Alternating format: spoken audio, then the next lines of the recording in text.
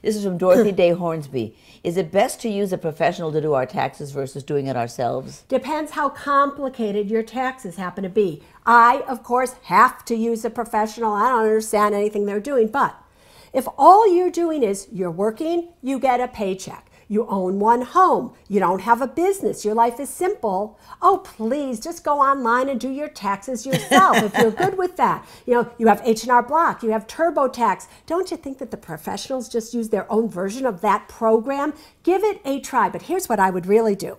Just so you know you're doing it right. Do your taxes yourself. Then go to see a professional. Oh, great idea. And see. She's so you see, smart. and then you'll know if you're capable to do it yourself. And then next year, do it yourself. That's great. Yeah. That's great. That's a real fallback. That's great.